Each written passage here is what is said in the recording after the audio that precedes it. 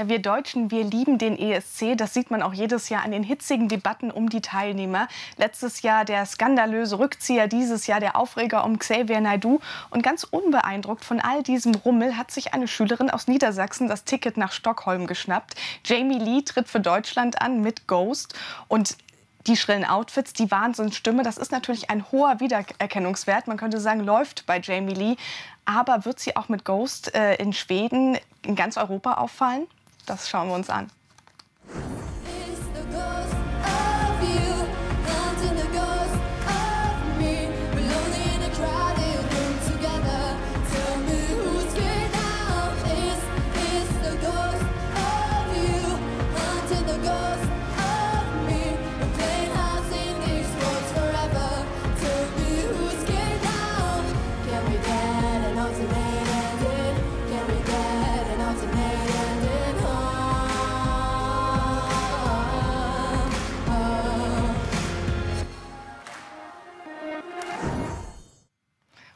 Ein sympathisches Lächeln dazu. Das ist Jamie Lee.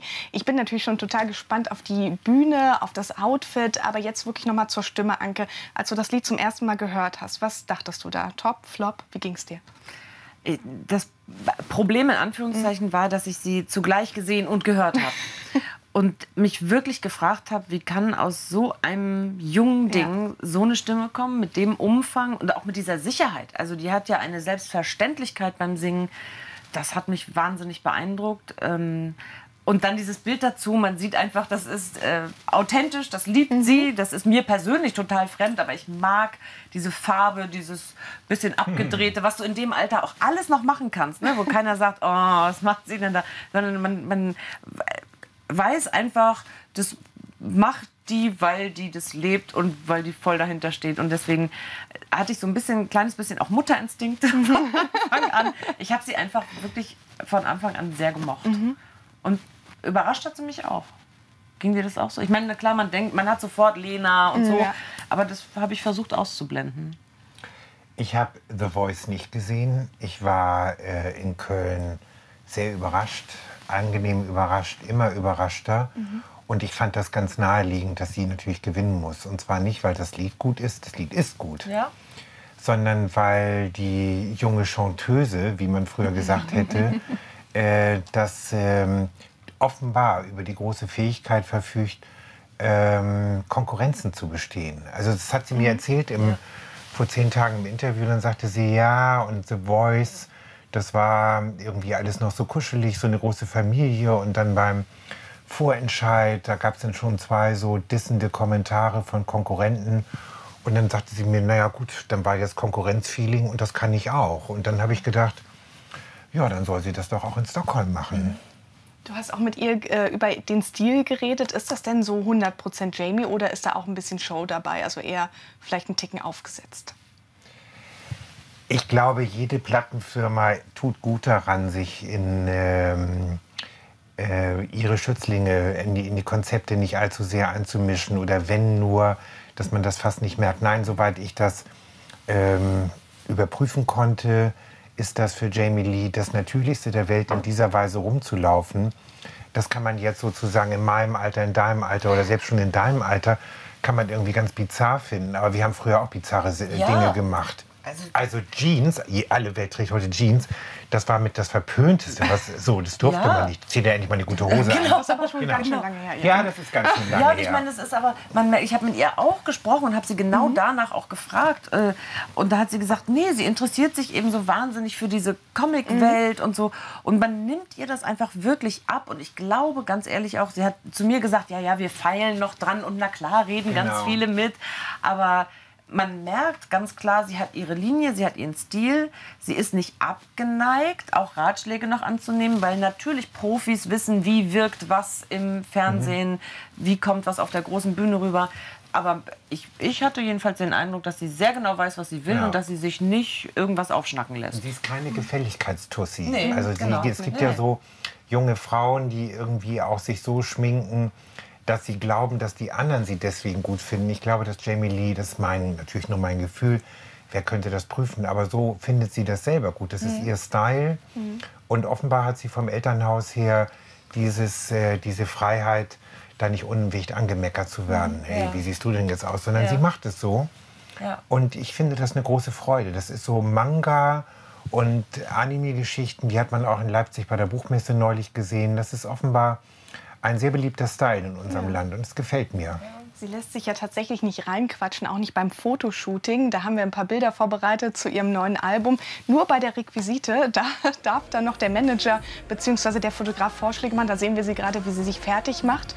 Und dann sagte der Fotograf wohl, es war es fehlt irgendwie noch was im Bild. Jamie Lee ist nicht genug. Wo kriegen wir jetzt einen riesigen Teddybären her? Und dann ist der Manager kurz entschlossen zu eBay Kleinanzeigen online reingegangen und hat innerhalb von einer Stunde dann noch diesen pinken Teddy für Jamie Lee organisiert. Und der kam auch gut an. Ich finde, man sieht einfach, auch wenn uns das vielleicht als eine Verkleidung vorkommen würde, man sieht, dass die sehr bei sich ist. Und das finde ich für eine 18-Jährige, Ja. also der gerade auch erst 18 geworden ist, erstaunlich. Also die hat einfach eine Sicherheit, so eine, ohne dabei überheblich zu sein. Das ist ja auch eine, ein schmaler Grad manchmal, sich sehr sicher zu sein, sich ganz cool und toll zu finden. Und bei ihr ist es genau auf dem richtigen Level, dass Ja. sie weiß, sie ist bei sich, sie kann diese Konkurrenz auch aushalten und ist dabei trotzdem einfach sehr liebenswürdig. Nach dem Eindruck, den wir so kriegen. Aber ich mag jetzt fast nicht glauben, dass sie so abgebrüht ist, den Medien einfach ein sympathisches Bild zu bieten und dann eben doch in Wahrheit eine Zicke zu sein. Nein, das dann hätte man sie nicht. auch äh, The Voice nicht gewonnen. Genau, ja. Ich glaube das einfach nicht. Ähm, Ich hoffe sehr, dass diese Eigenheiten von ihr auch ähm, bis Stockholm nicht planiert werden, Ja. sondern dass man ihr genug Raum lässt, äh, die auf der Bühne auch zeigen zu können. Absolut, ja. Wir haben eine Frage von äh, den Usern und zwar äh, Candy fragt, war Jamie Lee denn auch euer Favorit im Vorentscheid? Ja. Bei, bei euch beiden? Ja. ja. Ähm, es gibt, äh, nachdem wir sie gerade so gelobt haben, auch Kritik hier in unserem Chat. ESC Boy schreibt, man hört noch das Kindliche in Jamies Stimme, was mich noch leicht stört. Der Song ist langweilig, keine Steigerung, Staging mehr. Insgesamt bei mir nur Platz 34. Das ist natürlich ein hartes Urteil. Ähm, gesanglich kann sie da mithalten mit der Konkurrenz in Stockholm? Was denkt ihr? Also stimmlich glaube ich auf jeden Fall, weil ich schon glaube, dass das gesamte Publikum eben auch anerkennt, wie jung sie ist. Ähm, der Song macht mir da eher noch so ein paar Sorgen. Also ich glaube, dass da Lieder dabei sind, die eben, weil sie vielleicht so kalkuliert sind oder einfach auch vom Charakter in eine andere Richtung gehen, noch mehr Power haben. Aber ich glaube, dass Jamie Lee da auf jeden Fall im, im Kreis der Konkurrenten gut aufgestellt ist. Warum soll sie eigentlich nicht klingen wie inzwischen ja wie 18? 18, Also das wäre ja ganz erschütternd, äh, klänge sie also wie eine se- 67-jährige Nina Simone oder eine inzwischen 73-jährige Aretha Franklin. Ähm, es hat beim ESC sehr viele junge Sängerinnen gegeben, äh, die klangen altersentsprechend auch noch als Teenager. Und dann hat es aber in dem Alter auch immer Stimmen gegeben, die so kieksig überlolitahaft klangen. Das kam nie gut an. Und ähm, sie ist in einem Gospelchor Mitglied. Also was soll da stimmlich schiefgehen? Glaube ich auch. Also auch das Urteil ihrer prominenten Kollegen, das fällt äh, recht eindeutig aus. Letzte Woche war sie ja beim Echo und da ist unser rasender Reporter Bürger Lars Dietrich mal über den Teppich geflitzt und hat ein paar Meinungen zu Jamie Lee eingefangen. Begeistert, wie perfekt sie singt. Das ist ja irre. Die singt immer live. Ich finde, sie, sie hat auch wirklich eine Chance, ähm, eine sehr, sehr gute Platzierung Ja. äh, für uns einzusacken. Als sie den Mund aufgemacht hat, dachte ich, Ja. okay, Intonation 1 plus, Ja. Stimme 1 plus Ja. und ähm, der Song kann auch was. Dementsprechend würde mich nicht wundern, wenn da einiges geht. Natürlich habe ich sie gesehen. Ich habe mir natürlich den Vorentscheid angeguckt. Was wäre ich denn für eine ehemalige Gewinnerin, wenn ich das nicht verfolge? ähm, ich denke, dass da schon viele, viele Punkte des Rezeptes zum Erfolg äh, abgehakt wurden. Und ähm, ich, ich meine, es wird sehr spannend. Man sagt ja immer Deutschland, hm, das wird nichts. Ja. Ich sag mal bei Jamie Lee, haltet euch fest, man weiß es nie. Wollt ihr noch einen Tipp geben? Ihr, ihr wisst ja, wie es ist. Ähm, ich glaube, das Wichtigste ist, sich einfach selbst treu zu bleiben und sein Ding durchzuziehen. Ach ja, ich, ich, ich hoffe, dass sie einfach die Ruhe hinkriegt, dass sie, ne, weil das ist ja schon aufregend, glaube ich, auf so einer Bühne zu stehen, zu wissen, da schauen Millionen Leute zu. Und ähm, dass sie einfach da bei sich ist und den Song gut performen kann äh, für sich. Und ich ja, drücke alle Daumen, dass sie, dass sie gewinnt. Bald kommt der ESC. Wir werden Jamie Lee sehen und unterstützen und tanzen. Und Lörgala Dietrich ist auch am Start. Ich bin zwar dunkel, aber ich kann nicht rappen, ich kann nicht singen, aber ich kann ein bisschen tanzen. Yeah! Sehr gut, sehr gut. Das war doch schön. Das war doch cool, natürlich.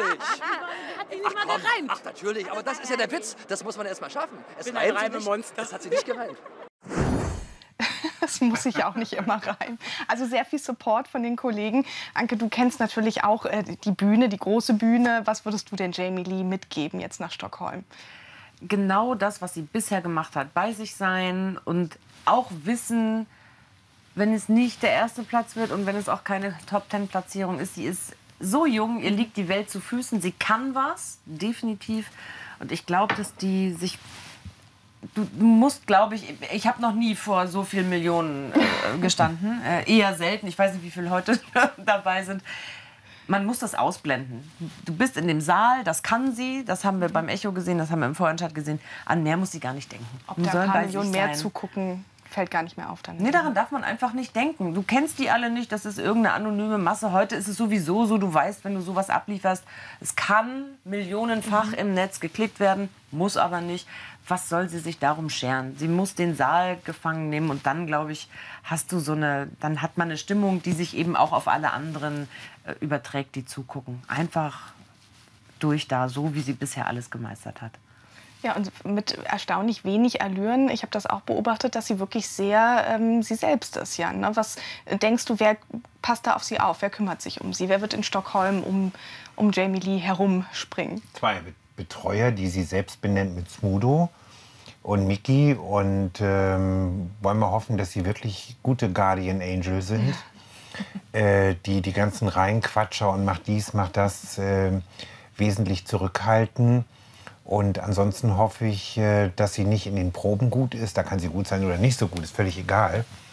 Da muss sie nur richtig schon mal stehen fürs Licht und für die Aufbauten und so weiter. Sondern dass sie den Auftritt selber genießt als ähm, eine ziemlich starke Performance-Möglichkeit in ihrem Alter. Und der Rest ist völlig einerlei. Und der Rest kommt im Übrigen von allein. Ja, glaube ich auch. Was denkt ihr denn, wie das in Punkten, also von den, äh, äh, von den anderen Ländern aussehen wird, der Rest? Also was kommt da zurück? Wie wird dieser Stil aufgegriffen? Wie wird ihre Stimme aufgegriffen von den anderen Ländern? Wie viel, mit wie vielen Punkten können wir rechnen? Ja, schwierig. Zumal wir ja dieses Jahr ein anderes Punktesystem haben. Äh, es wird doppelt so viele Punkte geben wie im, äh, in all den Jahren davor. Ähm, das weiß man nicht. Also das äh, wage ich auch überhaupt nicht zu prognostizieren. Also ganz ehrlich, nach der Geschichte vom vergangenen Jahr traue ich mich auch nicht, was zu sagen. Also man könnte ja jetzt wieder viel auf die Seite packen sagen, dafür kriegen wir Pluspunkte, dann kriegen wir wieder Abzüge. Äh, Wie viel spielt die politische Situation mit eine Rolle? Äh, Ich finde das ganz schwierig. Ich glaube aber, dass wir äh, auf jeden Fall eine Kandidatin schicken, die man nicht ignorieren kann, europaweit. Versucht doch mal selber, äh, das in Punkte, in eure Punkte zu fassen. Und die Regie sagt mir freundlicherweise, was unsere User getippt haben. Denn da bin ich jetzt gespannt, ob ihr vielleicht am Ende mal. Wir haben sie so lieb, ne? Mal Ja, so gemeinsam. Mischung finde ich, also die es ist ja so, ähm, ich sage ja auch beim HSV immer, dieses Jahr steigt er wirklich ab, also um dann nicht allzu enttäuscht zu sein wenn er und so weiter. Ähm, ich will mal ähm, eigentlich, ich finde, die 10 ist denn doch. Jawohl. Ich wollte jetzt erst pseudomäßig Ja. kritisch Ich sieben sonst Punkte immer, ne? geben. Und ich war, ich war bei 8 und bin, schwanke jetzt zwischen 8 und 12. nicht übertreiben. Nein, nee, nee, ich darf nicht übertreiben. Ich habe vorhin Freddy. Also ich, ich nehme die 8. Mm. Einfach wegen der Erwartungen, die man nachher nicht so sehr geknickt sehen möchte. Also ihr liegt auch diesmal nicht so schlecht, Gott sei Dank. Denn unsere User, die geben Jamie Lee 8,2 Punkte.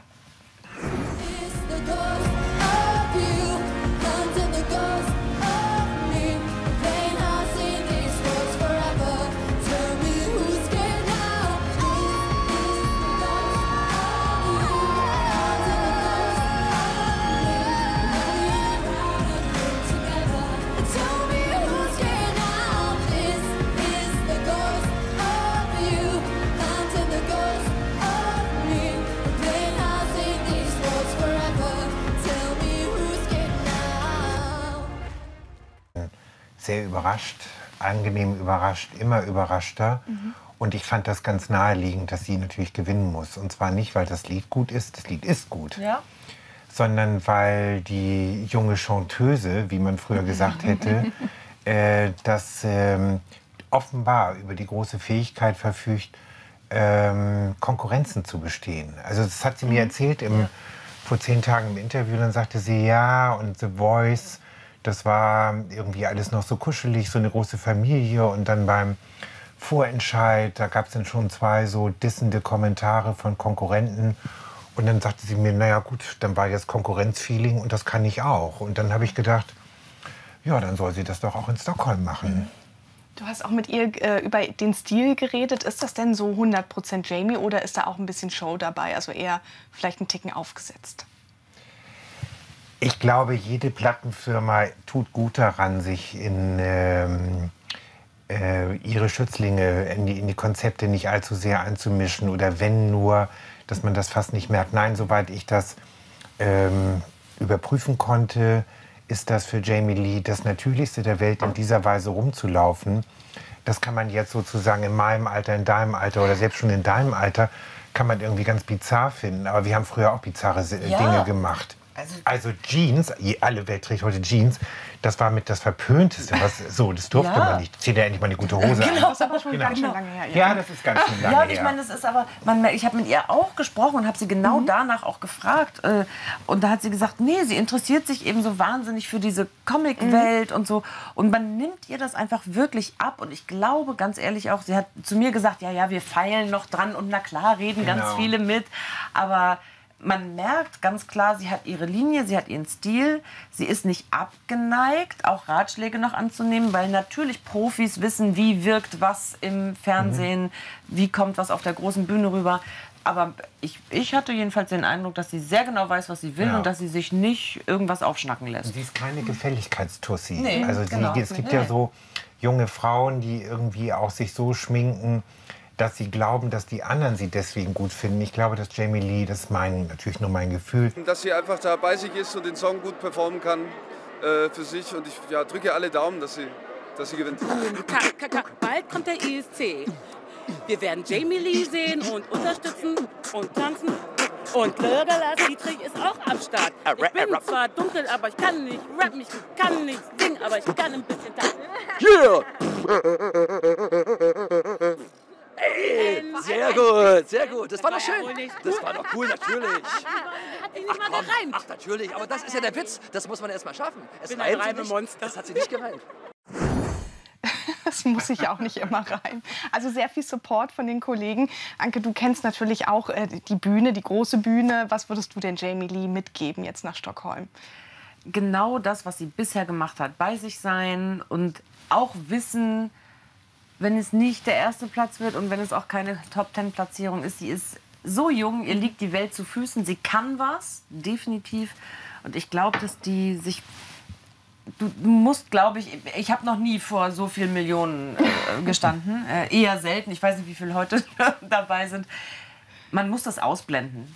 Du bist in dem Saal, das kann sie, das haben wir beim Echo gesehen, das haben wir im Vorentscheid gesehen. An mehr muss sie gar nicht denken. Ob da ein paar Millionen mehr zugucken, fällt gar nicht mehr auf dann. Nee, daran darf man einfach nicht denken. Du kennst die alle nicht, das ist irgendeine anonyme Masse. Heute ist es sowieso so, du weißt, wenn du sowas ablieferst, es kann millionenfach im Netz geklickt werden, muss aber nicht.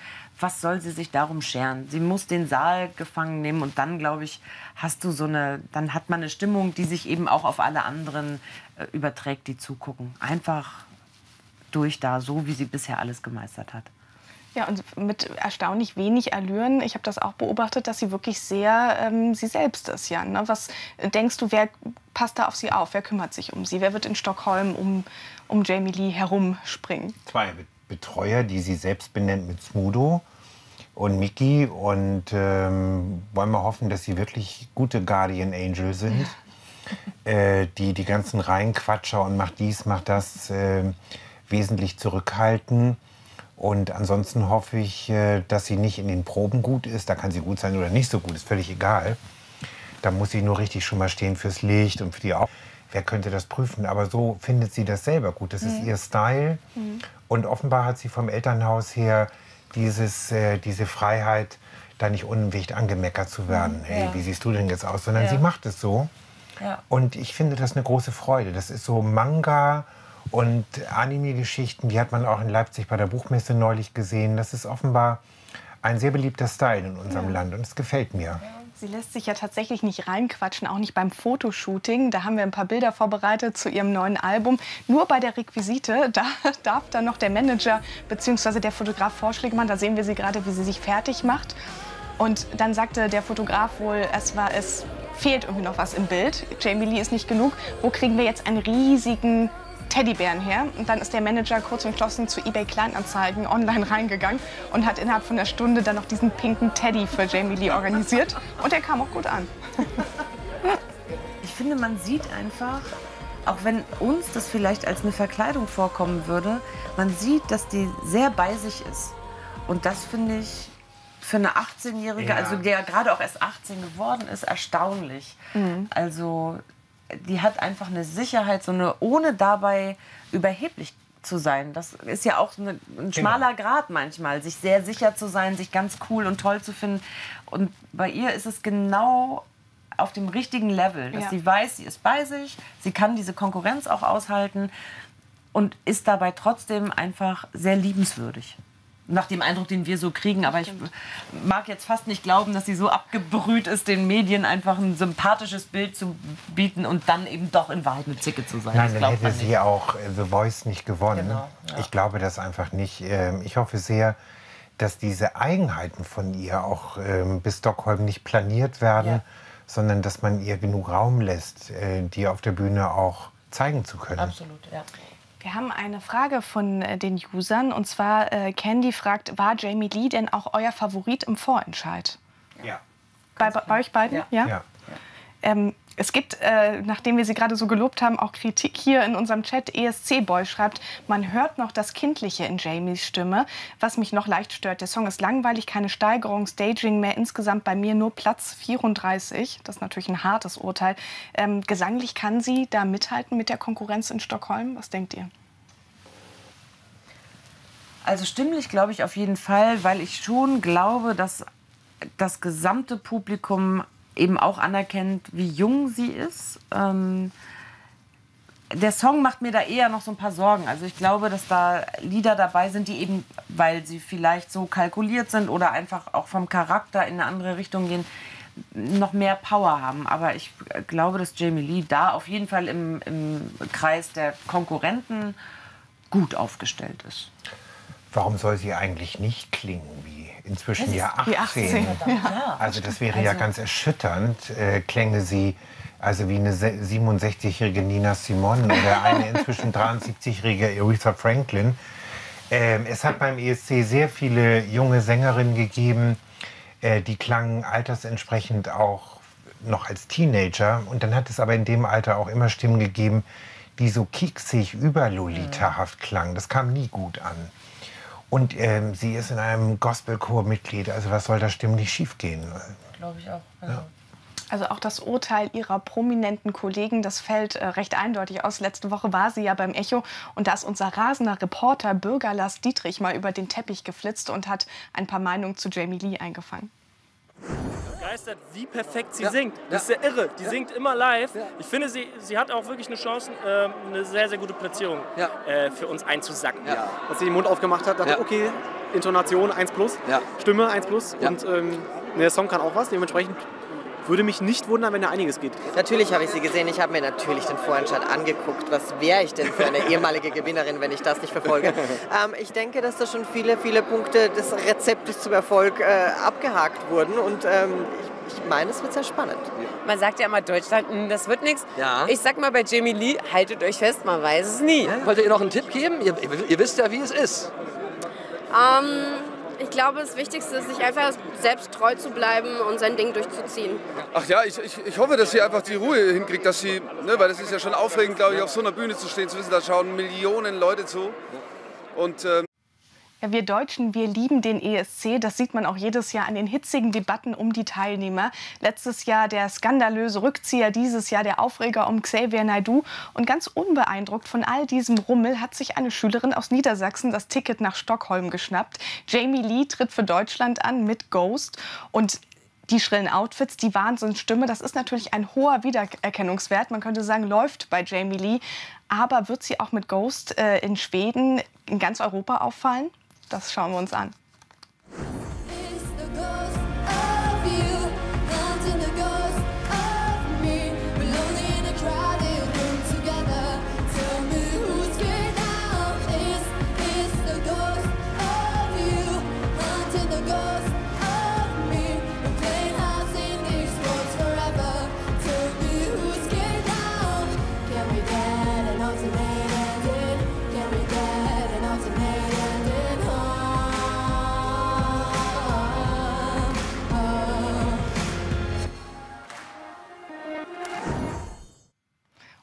Ein sympathisches Lächeln dazu. Das ist Jamie Lee. Ich bin natürlich schon total gespannt auf die Bühne, auf das Outfit. Aber jetzt wirklich noch mal zur Stimme, Anke. Als du das Lied zum ersten Mal gehört hast, was dachtest du da? Top, Flop? Wie ging es dir?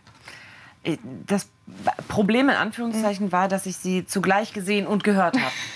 und mich wirklich gefragt habe, wie kann aus so einem jungen Ding ja. so eine Stimme kommen, mit dem Umfang und auch mit dieser Sicherheit. Also die hat ja eine Selbstverständlichkeit beim Singen das hat mich wahnsinnig beeindruckt. Ähm, und dann dieses Bild dazu, man sieht einfach, das ist äh, authentisch, das liebt mhm. sie, das ist mir persönlich total fremd, aber ich mag diese Farbe, dieses bisschen abgedrehte, was du in dem Alter auch alles noch machen kannst, ne? wo keiner sagt, oh, was macht sie denn da, sondern man, man weiß einfach, das macht die, weil die das lebt und weil die voll dahinter steht. Und deswegen hatte ich so ein bisschen, ein kleines bisschen auch Mutterinstinkt von Anfang an. Ich habe sie einfach wirklich von Anfang an sehr gemocht. Mhm. Und überrascht hat sie mich auch. Ging dir das auch so? Ich meine, klar, man denkt, man hat sofort Lena und so, ja. aber das habe ich versucht auszublenden.